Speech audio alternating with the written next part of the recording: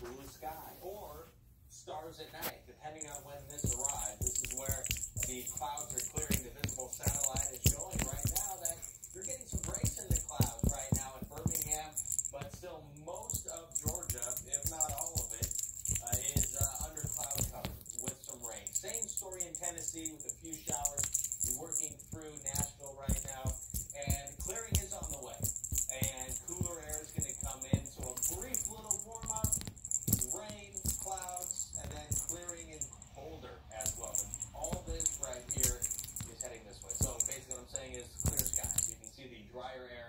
Is moving into the southeast. Not so much though across Florida. Not a lot of rain in Florida, but plenty of clouds, plenty of moisture, thunderstorms remaining offshore. We'll see though.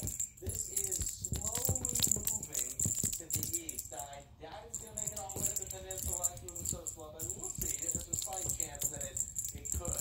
Uh, I think some of the rain is going to. But as the uh, evening wears on, more showers uh, and a